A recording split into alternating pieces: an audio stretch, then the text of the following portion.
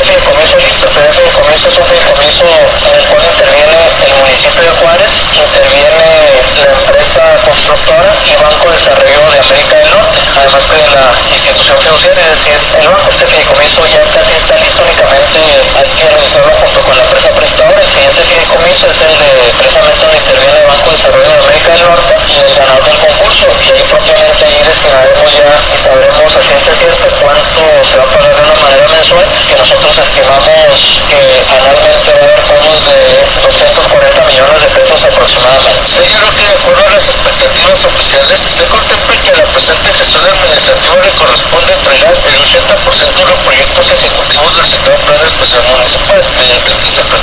mejorar las condiciones de competitividad